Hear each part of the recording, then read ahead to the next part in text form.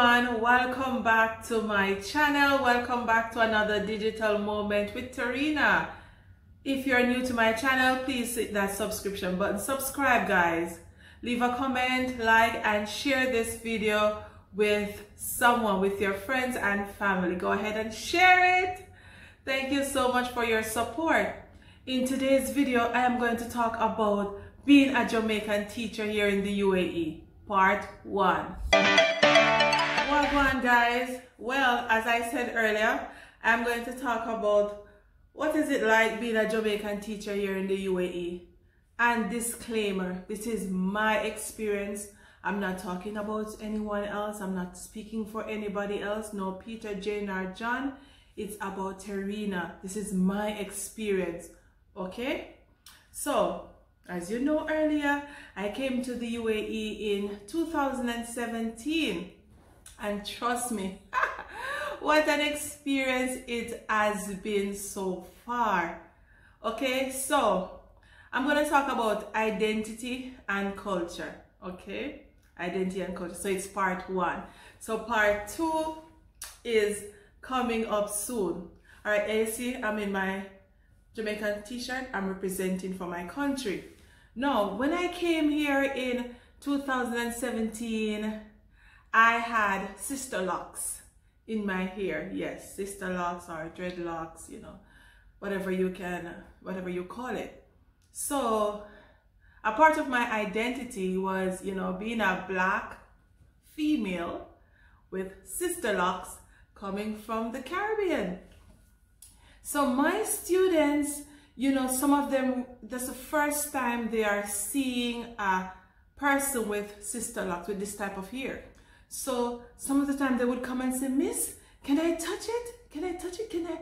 What's this? Why is your hair like this? Is it rope? Is it snake?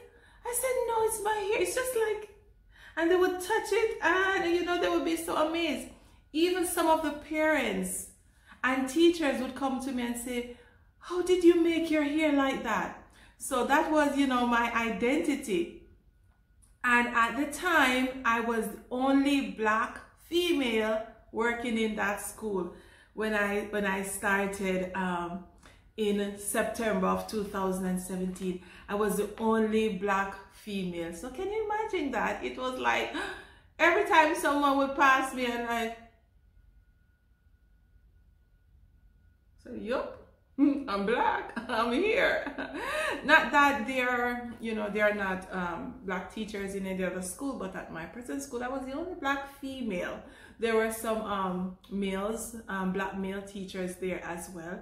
And they would just, the students would automatically think that we are related, you know. Another thing that happened, being a Jamaican here, persons would ask me, where are you from? And I said, I'm from Jamaica. Is that in Africa? I said, no. In the Caribbean. Same, same Africa. I said, no, it's not the same. The Caribbean, you know, made up of islands surrounded by water. Africa is a continent with many different countries. But you're black. Same, same African. I said, okay. So that is one of the things that we experience here as um, Jamaican teachers. Persons, most persons just think that we are Africans. You know, we are from Africa, we are from Ghana, we are from Nigeria, um, you know, some other African countries. But even though we try to explain to some of them, they still don't um, understand. So we just leave it at that. You know, knowing that, you know, I have my roots are from Africa, I don't mind it sometimes. I don't mind. so, another thing that happens uh, to me as a Jamaican here in the UAE is that sometimes people automatically think that I am a nanny. I don't know why, but persons think that I am a nanny. I am not saying that, you know, there's anything wrong with being a nanny. You know, I have great respect for persons, you know, no matter their profession. But people would, you know, sometimes ask me, uh, where are you from? what job you do? Are you a nanny? I said, no, I'm a teacher. So sometimes, unless they, when they hear, you know, the conversation, they hear me speak, they will say, okay, yes, um, whatever. But I get oftentimes mistaken for a nanny or for an African, a Nigerian, or someone from Ghana. Okay, so another thing uh, that happens as to me as a Jamaican here is that some persons are fascinated when I tell them I am from Jamaica. They say, what? Bob Marley? You know Bob Marley? Usain Bolt? And I said, yes, same country.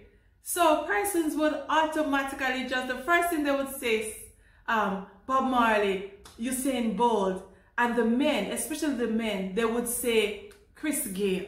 Yes, especially Indians, they, you know, they love cricket, right? So when, you know, they would ask me, where are you from? I said, I'm from Jamaica. Chris Gayle. Oh, oh, oh, you know Chris Gayle, you know, you know Bravo, you know Samuels. I'm like, nope, I don't know them. but I am a proud Jamaican. So once, you know, once I start naming our icons or celebrities, we said, yep, same country. But persons, some persons always talk about our music, right? They always talk about the music. And trust me, them know some songs that I don't know, that I don't listen to. it will surprise you how some Arabs, they would just be singing these songs. And I said, what? They said, yes, miss, we watch YouTube. so yes, persons uh, love Jamaicans being uh, Bob Marley, Usain Bolt, and they love the music. Um, Chris Gayle, you know, cricket. So once you say you're a Jamaican, they can identify you by, you know, those icons. And, you know, as I said earlier, reggae music. And another thing, uh, being a Jamaican here, when I came here and I saw the dress, all the the ladies, you know, the Arab women, oh, they dress in their abayas and their sheilas, they, you know, they're well covered. I'm like, I'm not used to it. You know, I'm not used to it. You know, our culture is that we dress freely. We dress whatever we in whatever we want to wear. You know, our short shorts and dresses and you know tight jeans and things like that. But women here, you know, Arab women here, you know, they are very conservative, and I've gotten to love that. You know, since I've been here, I've bought a lot of clothes. You know, like long skirts and most of my blouse that I wear to work, you know, long sleeves, because um, it's it, the culture is to dress conservative here. Okay, even dressing as a teacher here, we are more, uh, it's, it's more relaxed. You know, Jamaica, we dress in more tailored suits as teachers and um, skirts and dresses with our leggings, our stockings. Here, it's more relaxed with the dressing in terms of, yes, persons are well covered in terms of wearing um, long cardigans and jackets and blouse with long sleeves or long skirts or palazzo pants, you know, it's different. But I've, I've, I've grown to love it because it's, I think it's respectful. It's, it's, it's respectful when you are in a country and you adapt to their culture in terms of how they dress, right? And as a teacher here, I have to um, abide by, you know, guidelines in the way that I dress. Not only to go to school, but even to, you know, go out sometimes. You don't know who will see you. When I was doing my second interview, that was one of the things that the, the principal said to me, that the area in which I am I was going to live, you know, it's very conservative. It's very what's that word? Authentic to their culture, right? It's very traditional. So I would have to consider the way that I dress to go to the mall or the way that I dress to go on the street um, versus the way teachers dress in the city. So that's one of my experience here as a Jamaican teacher. So let's talk about the language here, okay? So as you know, in the UAE, the native language is Arabic, okay? So, and you don't have to speak Arabic to be a teacher here in the UAE or in the Middle East, okay? If you are a, if you are hired as a teacher, you are going to teach English subjects, math, science, English, uh, social studies, reading, and so on. But the language barrier, oh my God, it, it, it, it was super challenging when I just started. No, it's easier because I get to, I know a little bit Arabic, and that's one other video, I may forgot research a little bit more words, tell you. but when I just came here, and it's still happening, uh, even when persons are speaking in English to you, it is difficult for you to understand, right? All right, say for instance, I go to the store and I want to buy this book. Sometimes I can't say, what's the cost for this book? I have to say, this, how much? How much, you know? Dirhams, how much? So I realized that, you know, I I couldn't give complete sentences or say what I want to say in complete sentences. I have to chop it up. Right? And it's like broken English. We call it broken English, but I don't know what it is, but that's how, you know, some persons sound. You have to say it like that, okay? Um, instead of say, uh, where are you going? Someone would say, where you go? And in class, if a student would ask me something, you know, or I would expect them to say, Miss, what should I do? Miss, what do? What I do? So it, it, it, it took me a while to understand and, you know, to communicate, especially with the students that I would have in class that, you know, know little, they speak little English, but I still had to try my best to communicate with them. So I would repeat a lot. And I, I learned to speak slowly. Okay? I learned to speak slowly and I used a lot of actions um, to get my message across.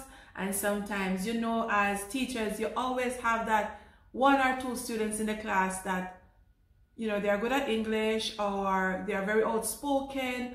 So they would understand me more or better and then they will try to explain it to the other students. I remember this girl, um, it was my second year with this current school. Uh, she was a darling. She wanted to be a teacher. So when I was trying to explain explain myself or explain something to the students, she would come and say, Miss, you want me to explain it to them? and she would come at the front of the class and she would speak in Arabic to them. And the kids just, oops, they understand, them know everything, so they just do the work. And then even last year, with this current grade one class that I'm teaching now, we we wanted we started using this new platform Nearpod, and guys, I I was explaining to my students how to log on to the new platform. You know, online um, teaching and learning. Is new for all of us and it's a little diffi more difficult, I should say, for the younger students, right? And I was trying to explain to them where to go, uh, which link to click on. When they click on the link, they put in the code. And 30 minutes I was there and I said, guys, anyone log on? Maybe one or two students would have done it before. They said, you know, what is happening? Please speak to me. Let me know if you're able to log in. And out of the blues, I just hear a parent say, Miss, do you want me to say it in Arabic? And I said, please do. And, and I'm not kidding you. Within two or three minutes, more than half the class was logged on.